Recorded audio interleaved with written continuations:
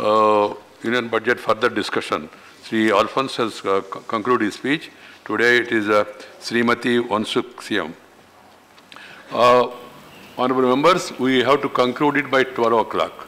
And uh, some time is left for Congress and BJP. They have given the names.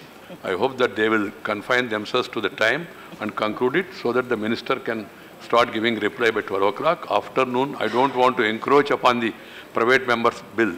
So it will be private members' bill in the afternoon. Madam? Thank you, Mr. Chairman, sir, for allowing me to take part on this budget discussions. Sir, immediately after assuming office for the second consecutive terms with a massive mandate, it was expected of the NDA government to have come out with a budget that would reflect the ruling combined agenda for the masses. In her long narration of the budgetary features and provisions, the Honorable Finance Minister has not come out with any new blood, any new bold program for reviving up the economy that is still in dire strait.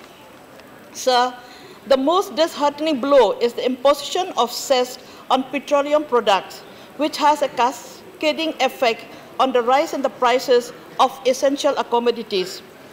This at a time when the prices of crude in the international markets are stable and low, and there is no reason for the government to resort to this vassal of cess and petrol and diesels.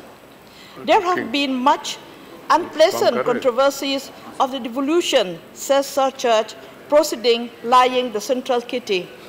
Sir, I find that the increase in the central allocations for the northeast state at around rupees 51,000 crores is only incremental at around 19 to 20 percent of the earlier allocations.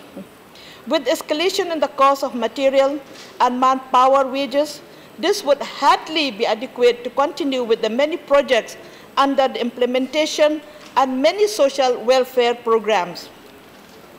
Infrastructure projects like railways and roads, highways are still needed to be taken up in the region, requiring massive investment allocations.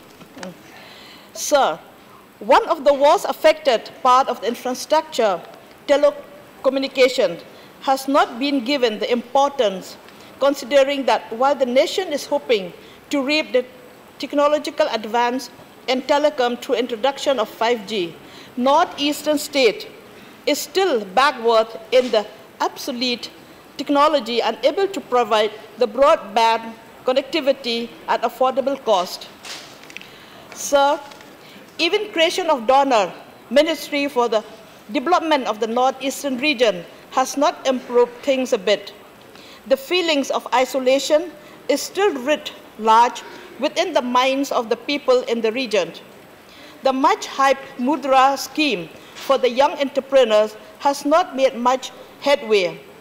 Whatever self-help group of a women that are operating in rural areas look up to microfinance companies for fund. Sir, the insurgency for which the region is known for long has now vanished. Youth in the region now need to be provided ample opportunities for the employment and nation building, lest they may resort to antisocial tendencies like drug addiction.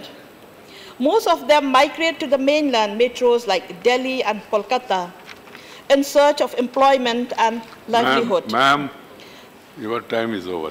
Sir, what, I just finished, sir. Elsewhere in the mainland nation, But- they are looking upon the aliens and discriminating You have racially. six minutes, two This speakers. appetite Please behavior of the chart. mainland nation has to be changed since the mainland nation will gain immensely for the treasure house of skilled and it like accomplished manpower of women you power just the check up with the- northeastern region is known no as. problem. I almost finished, sir. The last one, sir. No amount of dust thumping by the members of the treasury benches during the budget speech can drown the cries, scream of many who suffered the demonetization exercise that yielding nothing for the government and the treasury. Right, ma, It still looms large before my eyes, unending columns of daily wages, elderly man and housewife, and even handicapped attempting to reconvert their hand-earned of legitimate saving during the post-demonetization days.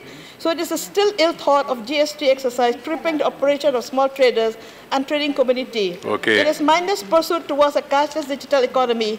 The government has spawned a new breed of cyber fraud operating from remote Jharkhand towns ji, thank you. rob money from ATM You and next speaker, Ronald Sapat. Yeah, this Yes. cyber fraud Agreed. outsmart the If you- multi-flight cyber. You can lay the rest of the ATM speech on the table. transfer system With my permission. Hello, madam. foolproof. It's finished, sir, Oh, yeah. please, Conclude. Okay, Now, sir, I'll leave the table, yeah.